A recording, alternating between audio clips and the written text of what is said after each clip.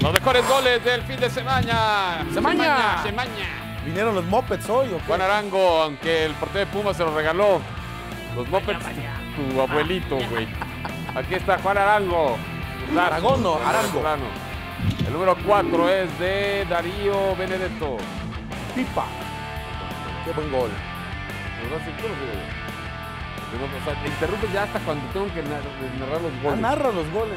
No, no voy a decir nada. No, ya es viste que eso- eh, que, por cierto es una buena noticia para Cristian Azteca.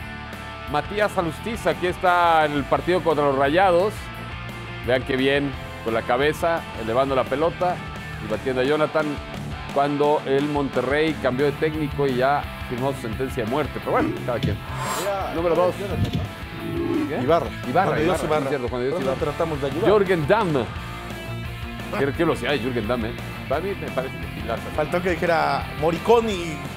Qué, qué- qué buena salida de... Mala salida Moriconi de los rayados. No, de cosa llamaba Siboldi. El Ciboldi de la bomba Ruiz Díaz. Y el número uno.